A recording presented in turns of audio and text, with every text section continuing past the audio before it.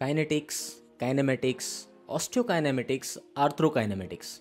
Very simple terms, but many of the times I have seen students getting confused about this. So let's make it very simple. Now imagine that you want to perform raising your hand up, this movement. So to perform this movement, you require some muscle forces like for example, anterior deltoid as well as scapular muscles.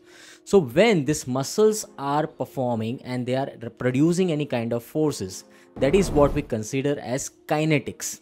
And the movement which is produced, that is what we consider as kinematics both are interdependent so we can consider this like kinetics is related to forces kinematics is related to the movements now in that osteokinematics and arthrokinematics. So when you're performing a movement the movement is happening inside the joint as well as the outside the joint.